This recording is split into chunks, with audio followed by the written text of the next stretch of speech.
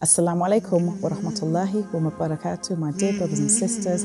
This is Ustadha Ameena Blake with you, and subhanAllah, we are a quarter of the way through this beautiful month. And hasn't this month been made so much better for us with the lockdown and the situation because the hardship brings us closer to Allah subhanahu wa ta'ala? May Allah subhanahu wa ta'ala bring you closer to Him through this hardship, inshallah. The Sahaba anhum, used to make dua six months before Ramadan, asking Allah, Yeah, Allah, let us live until the next Ramadan. Your dua and my dua, Alhamdulillah, this year was answered. But there will come a year, my brothers and sisters, where you do not live till the next Ramadan and that Allah subhanahu wa ta'ala returns your soul to Him. During the month of Ramadan, there are different types of fasters, different types of people who are fasting. In a Sahih hadith, the Rasulullah says there are people who fast and get nothing from their fast except hunger and thirst. So we're going to think about how we're using our time in Ramadan. Let's visit a beautiful surah that actually Imam Shafi rahimallah says is sufficient alone to reflect on. This is Surah Al-Asr. He says, Wal Asr, Inna al-insana lafi khusr. Subhanallah, this takes us back down to ground zero. Allah subhanahu wa ta'ala calls us losers. All of mankind are losers by time. We've lost this race. Once time runs away, you cannot get it back. I cannot get it back. Once this Ramadan has gone, it's gone. Do you want to be a winner or do you want to be a loser?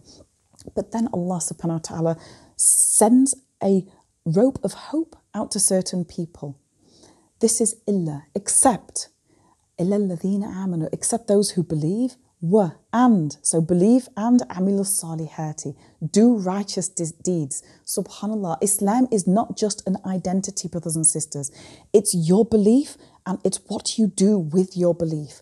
What salihati are you doing this month? Whether it's giving a sadaqah of a smile or whether it's giving a million pounds. Subhanallah, this is all something to give. Whether it's helping your parents or your spouse, spouse or whether it's helping your neighbours who are maybe in the middle of the COVID 19 situation. Subhanallah. Small deeds or big deeds, they don't matter. We are all unique. What is the quality of your goodness, of your khair? Are you doing this thing with ikhlas, with purity? Because we don't want to be one of those who are mentioned in the hadith where the Rasulullah adds on, and there are those who pray at night who get nothing from their prayer but a sleepless night. Are your deeds forever deeds? Are you working towards being what Allah subhanahu wa ta'ala refers to as as-sabirin?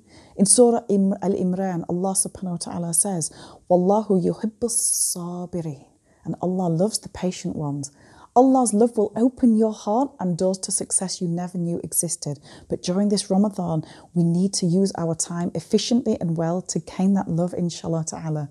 It opens amazing doors.